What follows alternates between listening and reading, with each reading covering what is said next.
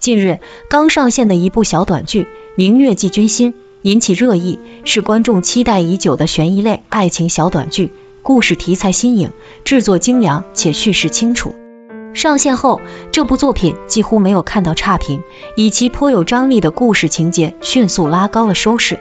令观众没想的是，这部小制作也能媲美大剧。不管是集数少还是播放时间短，都能够反馈出很吸引观众的内容，这已经成功了大半。不得不说，《明月记君心》开播就获好评不是没有原因的，而且剧中的主演是关键。《明月记君心》讲述的是晋国将军之子萧齐峰与宁国公主国婚的当晚，却发生了一件非常离奇的事情：一副穿着青衣的骸骨赫然出现在废井之中，此事迅速引起了轩然大波。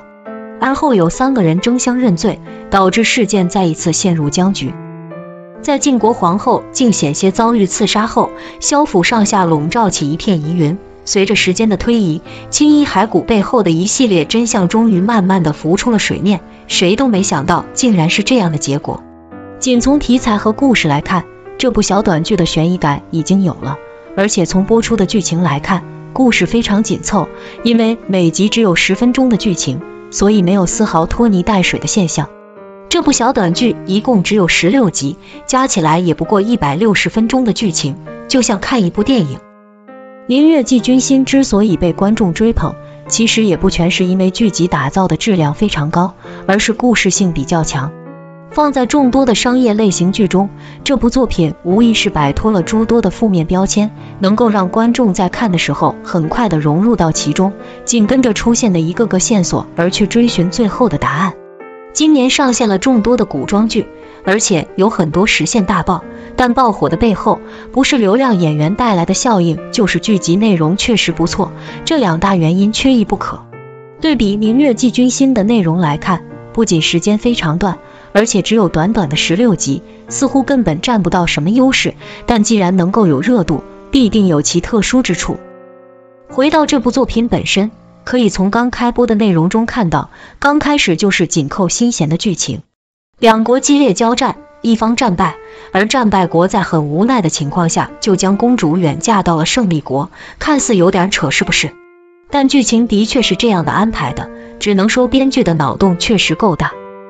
随着剧情的推进，战败国的公主大婚之日，没想到跟随而来的却是一群女兵。这背后的意图是什么？战败国试图在公主大婚当天在现场刺杀皇亲国戚，来一个反败为胜。没想到计划不仅没有落成，反而差点被瓮中捉鳖。战败国的不甘心到此并未结束，但随后就出现了比较离奇的一幕。当将军府的深水井生出来一个绿衣服的女子时，事情开始发生了巨大的转折。调查刚开始之际，没想到大将军和自己的夫人就首先认罪，承认井中出现的女人是被自己谋害。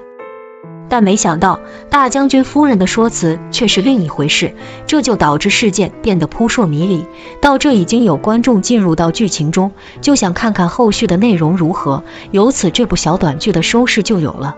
不过在这部小短剧中，作为主演的关畅是剧中的重点，他带来的角色非常有灵动性，没想到竟然会在小短剧中看到如此惊艳的表现。在剧中，他饰演的是素琴，一个非常有灵气的角色，而且他的形象和气质与剧中角色的贴合度非常高，可以说是本色出演了。剧中有很多颇有张力的桥段都是素琴带来的，比如长官宁国公主时，脸上的那股狠劲已经将正房的气质拿捏住了。